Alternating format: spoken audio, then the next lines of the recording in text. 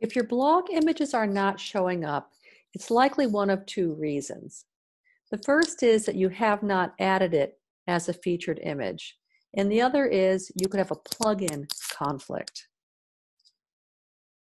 When a featured image is not displaying, of course, it will look like this in that you'll have some blog images that are displaying, and then suddenly all you get is the title of your blog. So if that's the case, you will go to the blog post that is not displaying the images. And when you get to the back end of your post, you want to make sure that you have something on the right hand side that will lead you to your featured image. And if you don't, hover over this gear icon that says settings. And once you click on that, then you'll get this window there's post and then there's block, but you want to be in post because that refers to your entire post.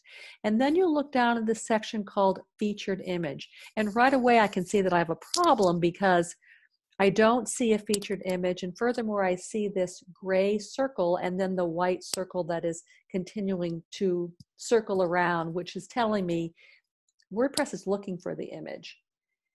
On the right-hand side here, the upper right-hand side, you'll th see three dots. And this is in my Google Chrome browser. When I hold down the Alt key and click on the three dots, this drop-down menu appears. Tools, Developer Tools. And then under this console section, right away, it's certainly telling me that uh, WordPress is failing to load the resource, and the right resource is my featured image. Here, what I'm going to do, I'm, what I would do, I would click on remove featured image from here, and then set a featured image. So click on set featured image. It's either in my media library or it's a file that I will upload from my desktop. But say it's in my media library, it's this image that I want to display. I click set featured image and then it shows up in the featured image and I would click update and then it will display as I click view post so I know that it's there.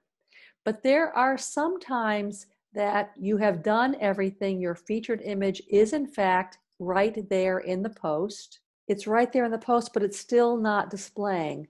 Well, in that, if that's the case, once again, you will go back to this upper section in your browser and look for the three buttons, alt click, more tools, developer tools, you'll see an error.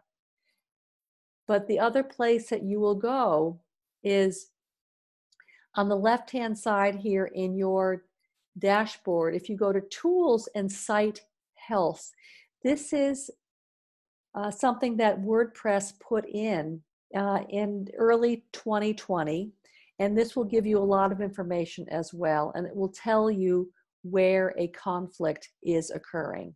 So I hope that was helpful.